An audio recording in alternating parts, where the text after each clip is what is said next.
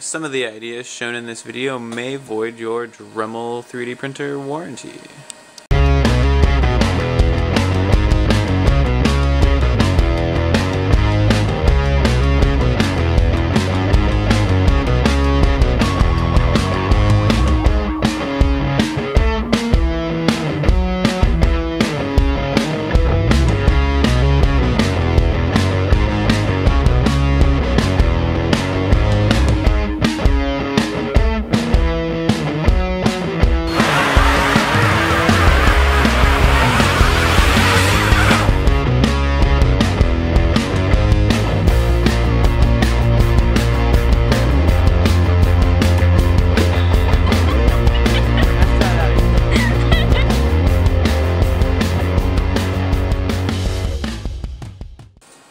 Hey guys, I got the Dremel Idea Builder uh, a while back, and they come with what they say you can only use, you know, their filament, and uh, um, if you you know, don't use their filament, the machine won't work, and it'll it'll void the warranty. I wondered how true that was, um, so I went and did a little looking on YouTube actually. Um, I found this guy that had used some of the Hatchbox filament and uh, actually designed a part that you could print so that the bigger rolls would fit because this is much bigger than this other one and I'll have a link to that uh, in the description so you guys can see that. Um, but since then I've tried probably three different filaments um, and this is going to be a review um, about what I found on those filaments.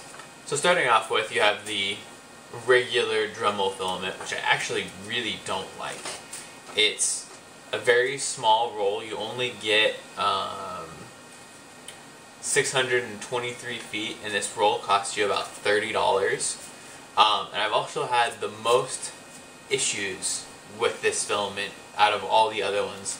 Um, I've had a couple times where, as it comes out, it wasn't wrapped, wrapped properly so that the filament was crossed. Um, actually, have a couple pictures that I'll include. So it just couldn't feed it anymore, and it actually jammed the print head in the printer. And I didn't notice it till the next day because I I had you know set the printer up and gone to bed. Um, and I came back out a couple hours later, and the motors and everything were actually had heated up because it had just jammed the printer in in its spot.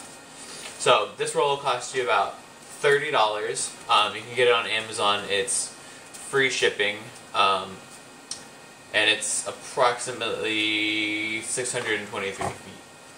The next roll I have is Fox Smart. This roll actually will not fit inside the machine. It gets stuck up against the build plate, um, the build platform, because if you look, it is wider than the regular rolls. So what I did with that was I found this thing on Thingiverse that you can just have it sit on and run it through one of the vents on the side of your printer. Uh, this roll actually prints pretty decently. Um, it's uh, $16 for a good sized roll. It prints um, decent, haven't had a whole lot of feed issues or anything like that, but I also haven't used a whole lot of it, um, as you can see. This roll was $16, uh, which is by far the cheapest that I found yet. The downside to this roll is the customer service is horrible. Um, when I first ordered this, I looked up their return policy because once I realized it wouldn't fit before I found this thing, um, I wanted to return it. And it said, oh yeah, you know, if it's not opened, uh, still in the box, all that kind of stuff, feel free to return it. Just email us. I emailed them three times and never heard back. Um, so then I went and I found their phone number. And right on their phone number on the website, it says, do not call us, we won't call you back. Um, you know, you can try, but we won't call you back. So I tried just so I could say I gave it a try, and obviously they didn't call me back. So it's a cheap filament, um, it prints nicely. Um, the next thing that I tried, which is actually the uh, filament that the uh, try to help guy that designed this model came up with um, was Hatchbox, and I really enjoy their filament. Haven't had any problems with theirs. Um, theirs is about $25. Um, again, good price, free shipping on Amazon if you have Amazon Prime. Um, so that was a good one. I also just found this filament. It's from um, Aces Deals, which generally sells drones, but they're just getting into the 3D printing space. I'll have a link to their site down below. Um, this is a 2.2 pound roll. Now this is this is a, general, um, what I think of as a normal size roll. Um, and it doesn't say how long it is or anything like that, but these all come full. So if you just look at the size difference on how much you get, um, I've only used a little bit of this Hatchbox stuff, um, but there's just a ton more filament in this. This actually also would not fit in the printer, so I had to use this with it, with it as well. So it's really between the Smart Fox and the Aces deals um, on pricing, and I think you get more. Well, I know you get more uh, filament with the Aces deals over the um, Smart Fox. This is a good one. What I've been using this for a lot is um, if I want to test a design or test a print that I don't know how it's going to react, I will use this because um, it has a decent print quality and it's relatively cheap. Um, so you're not, you know, using your your better quality stuff on a print that might mess up or might fail halfway through.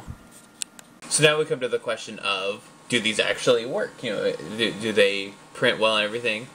And for the most part, I haven't had any problems that I haven't had with the Dremel filament. Um, you know, occasionally you'll get a clog or um, a feed problem, but I wouldn't say that's because of the filament. Sometimes what you will have to do is go in and change the temperature settings um, when you slice the model, because each filament has a different light, different a different light, new light.